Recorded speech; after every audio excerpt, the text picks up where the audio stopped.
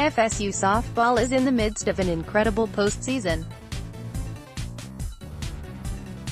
After dropping the first game of their College World Series against UCLA, the Seminoles rebounded with four straight wins en route to a bid in the National Championship Series versus Washington. Part of the Seminoles' success is the play of senior Jessie Warren. She has been fantastic for Florida State in the postseason, hitting a clutch home run in FSU's previous game versus UCLA to get the Seminoles to the national championship. In Game 1 of the National Championship Series against Washington, Warren made another amazing play.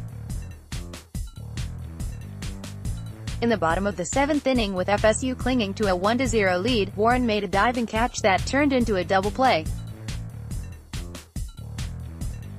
In the blink of an eye, Washington went from having zero runs and a scoring run on base to two outs. Florida State would go on to win the first game of the series, getting one step closer to a national title. The second game of the series is scheduled for Tuesday, June 5 at 8 p.m.